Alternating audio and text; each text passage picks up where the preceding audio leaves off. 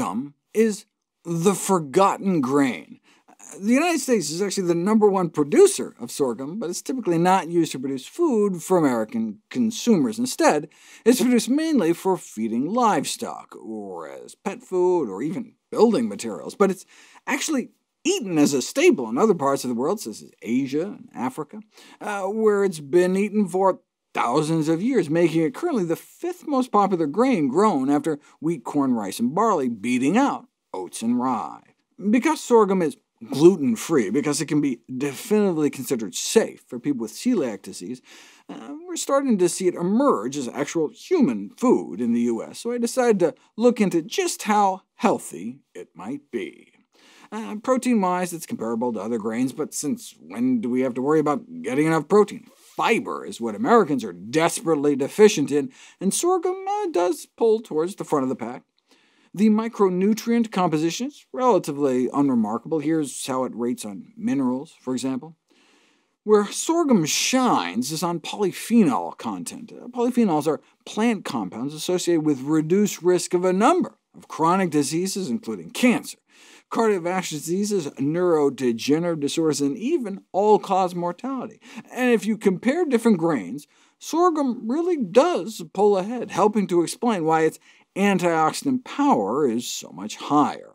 Now, sorghum gets its grainy little butt kicked when it comes to fruits and vegetables, but in terms of compared to other grains, a sorghum-based breakfast cereal, for example, might have like eight times the antioxidants than a whole wheat-based cereal. But I mean, what we care about is not antioxidant activity in a test tube, but antioxidant activity within our body. If you measure the antioxidant capacity of your blood after eating regular pasta, it goes up a little. If you replace 30% of the wheat flour with sorghum flour, it doesn't go up much more. But if you eat 30% red sorghum flour pasta, the antioxidant capacity in your bloodstream shoots up like 15-fold. See, there are multiple types of sorghum. There's black sorghum, white sorghum, and red sorghum. Uh, this is how they look in grain form. There's evidently a yellow sorghum too, and red sorghum, and especially black, have like you know legit you know fruit and vegetable level antioxidant activity.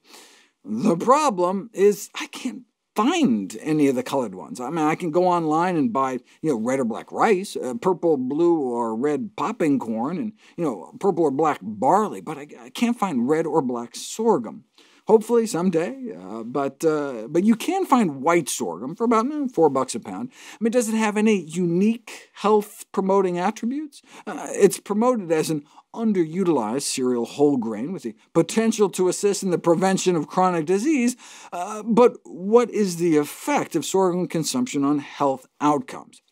Epidemiological study in China found lower esophageal cancer mortality rates in areas that ate more millet and sorghum compared to you know, corn and wheat, uh, but that may have been more due to avoiding a contaminating fungus than from the benefit in the sorghum itself. I mean, though it's possible. I mean, just as oats are the only source of you know, avenanthramides, uh, which give oats some unique health benefits, sorghum, even white sorghum, contain unique pigments known as uh, 3-deoxyanthocyanins, which are strong inducers of some of the detoxifying enzymes in our liver and can inhibit the growth of human cancer cells growing in a petri dish, compared to you know, red cabbage, which has just regular anthocyanin pigments. Uh, but note that white sorghum didn't do much worse than red or black, which have way more of the unique 3-deoxyanthocyanin, so uh, maybe it's just a general sorghum effect. I mean, you don't know until you put it to the test. Sorghum was found to suppress tumor growth and metastasis in human breast cancer xenografts. What does that mean? The researchers conclude that sorghum could be used as an inexpensive natural cancer therapy without any side effects, strongly recommending the use of sorghum as an edible therapeutic agent possessing tumor suppression and anti-metastatic effects on human breast cancer, but xenograft means human breast cancer implanted in a mouse. Yes, the human tumors grew slower in the mice fed sorghum extracts and blocked metastasis to the lung, and did the same for human colon cancer, that again was in mice, which can't necessarily be translated to how human cancers would grow in humans, since, for example, not only do these mice not have a human immune system, they hardly have any immune system, and they're bred without a thymus gland, uh, which is where cancer-fighting immunity largely originates. I mean, how else could you keep the mouse's immune system from rejecting the human tissue outright? Right? But this immunosuppression makes these kind of mouse models that much more artificial and that much more difficult to extrapolate to humans. And that's a lot of what we see in the sorghum literature, in vitro data, like in test tubes and petri dishes, and rats and mice. Uh, there had just been this critical missing piece of the puzzle needed to link laboratory data to actual benefits in humans missing, that is, until now. Thankfully, we now have human interventional studies which we'll explore next. Despite playing a significant role in Africa and Asia as a staple grain, sorghum has only recently emerged as a potential food source in the U.S. It's not just a principal grain in many parts of the world, but evidently used in folk medicine traditions. What might its health benefits be? Uh, there's been some in vitro data from test tubes and petri dishes, and in vivo data, meaning within the living and laboratory animals, but only recently have we started seeing human trials. In one study, subjects were asked to eat sorghum pancakes versus corn pancakes for supper for three weeks, and both groups saw huge 20 to 30% drops in their cholesterol, but they were also all told to not eat eggs and other cholesterol-boosting foods, so that may very well have been playing a role. Another study tried biscuits. Those eating sorghum biscuits said they felt more satiated than eating wheat biscuits, but this didn't translate to differences in intake at the subsequent all-you-can-eat meal, so I mean, who cares what they subjectively felt if it didn't cause them to eat any less?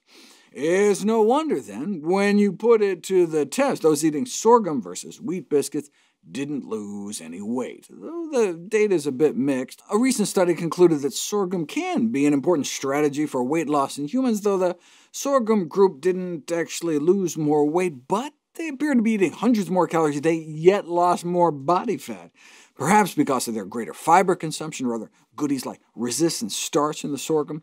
Uh, the vehicle they used, though, an artificially flavored, colored, and sweetened mixture of water, powdered milk, and either sorghum or wheat, uh, may be good research-wise, so you can make a blinded control, but it leaves you wondering what would happen if you actually ate the whole food.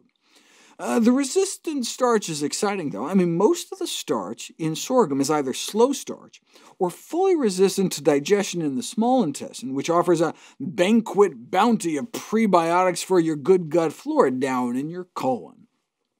It's not evidently the sorghum starch itself, but interactions with the proteins and other compounds that effectively act as starch blockers, inhibiting your starch-munching enzymes. Sorghum then ends up with the lowest starch digestibility among grains, which is why traditionally it was considered an inferior grain, but inferior in the sense of not providing as many calories, but not providing as many calories is a good thing in the age of epidemic obesity. Give someone a whole wheat muffin compared to a sorghum muffin containing the same amount of starch and see significantly higher blood sugars 45 minutes to two hours later, and a higher insulin spike starting almost immediately. Overall, a 25% lower blood sugar response, and the body only had to release a, a fraction of insulin to deal with it, uh, less than half. Same thing with diabetics, lower blood sugar spike with a sorghum porridge compared to grits that the body can deal with with a fraction of the insulin.